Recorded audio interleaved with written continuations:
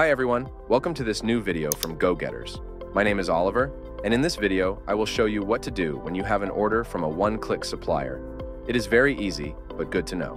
When you have received an order, you see it in your web shop. In my example, I use Shopify. As you can see, the status is still unfulfilled. I open the GoGetters app. Here, you will see the order on the homepage. The order now has the status awaiting payment. You click on the green button you will see the amount you have to pay to the supplier. The faster you pay the supplier, the faster the supplier delivers to your customer. What you pay is the purchase price and shipping cost, plus VAT. I am going to pay the order with iDEAL, which is a Dutch payment solution. I have now paid the order, and as you can see, the status of the order has changed to paid. The supplier now receives a message of my order and will process it as soon as possible.